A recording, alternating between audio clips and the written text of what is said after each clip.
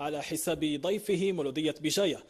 اللقاء والذي احتضنه ملعب عمر حمد ببلوغين بحلته الجديدة بعد إعادة تهيئة مرافقه وأرضية ميدانه التي بدت في أحسن حلة شهد قبل بداية اشتباكات بين أنصار الفريقين قبل أن تعود الأمور إلى نصابها في وقت لاحق. وبعد محاولات عديدة من أصحاب الأرض نجح أسامة درفلو في الوصول إلى شباك الضيوف في الدقيقة الثالثة والأربعين. قبل أن يتحصل البديل غزلان على ضربة جزاء ترجمها زميله ربيع مفتاح إلى هدف ثاني عند الدقيقة الثامنة والسبعين قاضيا على أحلام بجوية في العودة في النتيجة.